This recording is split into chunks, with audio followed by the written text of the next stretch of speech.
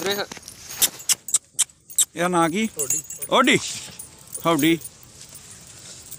ਚਰੂ ਇਹ ਲੋ ਲੈਣ स्वागत है आपका काका डॉग लवर चैनल पे पेट्रोल की जानकारी लेने के लिए ज़्यादा से ज़्यादा चैनल को सब्सक्राइब और शेयर करो थैंक यू